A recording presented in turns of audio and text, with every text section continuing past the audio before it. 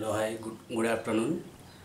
Uh, my name is Yam Prasad Gurung. I am from Lamjung district, uh, Western Nepal.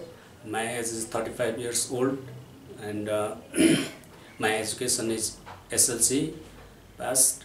And before I work in UAE, Nesto Hypermarket, three years as a cargo handler.